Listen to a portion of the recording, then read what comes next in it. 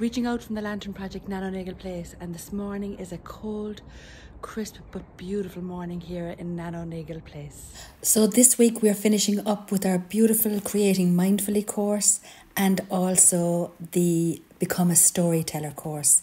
Last week we had a gorgeous rendition of the stories from the storytellers um, in the lecture space in Nano Nagle Place.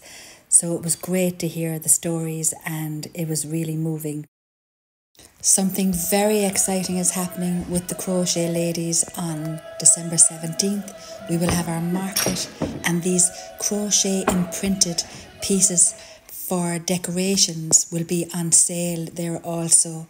So we have lots of plans coming up. Imagine tomorrow will be our last walk in Fitzgerald's Park, so join us if you can at 11am. This week, keep cosy and warm and know that there's a rainbow in the sky that suggests hope ahead.